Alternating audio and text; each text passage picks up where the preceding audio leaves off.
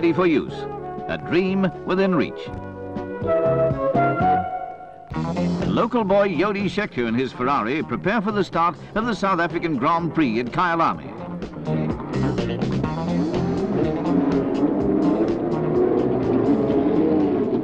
Over 90,000 spectators have turned out to see the big names of motor racing compete in the third Grand Prix of the season.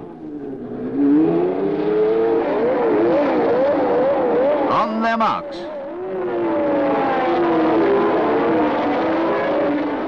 It's a good start. Weather's threatening, but most drivers opt for good weather slicks. Crowthorne Corner, first lap. Jean-Pierre Jabouille in a Renault leads Scheckter and Villeneuve. Barbecue Bend, then the long Jukskei sweep.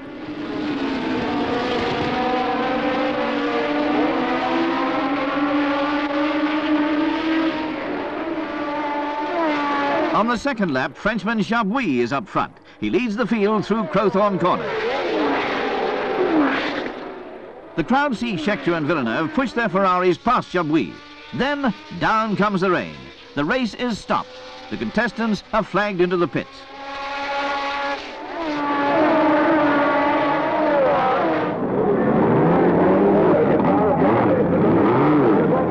Precision drill teams work on Reutemann's Lotus. Jody Scheckter keeps his slicks, banking on a quick drying of the track by the South African sun, but most change to wet weather treads for the rerun.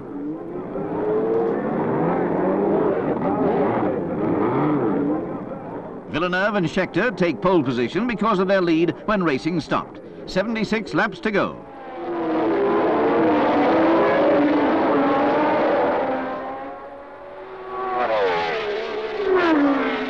The French-Canadian doesn't waste the advantage. Villeneuve leads.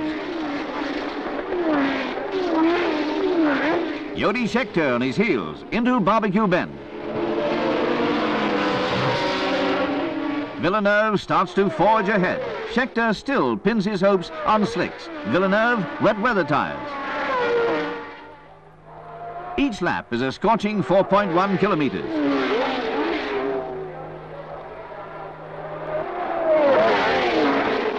By now, everybody agrees the race may hinge on that choice of tyres. Already the strong Transvaal sun is mopping up the rain. There goes James Hunt into Leeuwkamp Bend. This may be his last Grand Prix season. Scheckter overtakes a lap ahead of Piquet's Brabham. Meanwhile, Villeneuve has lost his lead through a tyre change. Driving desperately, he overtakes Niki Lauda. The Ferrari of the French-Canadian is on his way to the front.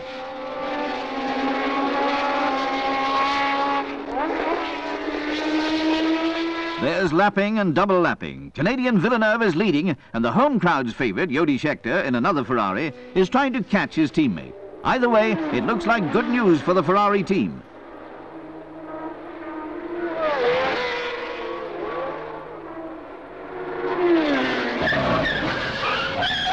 Australian Alan Jones spins his Williams out of the race, ending up sideways on the finish line.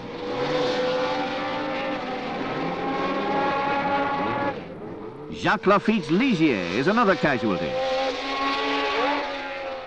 Scheckter second. He can't close the gap. Villeneuve heads for home. Into Leeuwkamp Bend for the last time. Nobody can catch Villeneuve now. Jody Scheckter is three and a half seconds behind, and that's an eternity in this business.